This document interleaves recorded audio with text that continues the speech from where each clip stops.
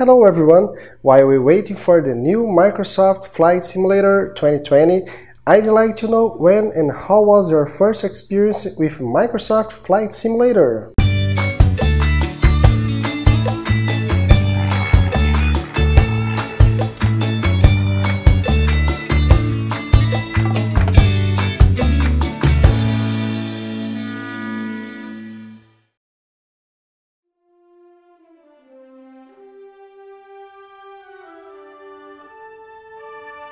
First version of Microsoft Flight Simulator was released in 1982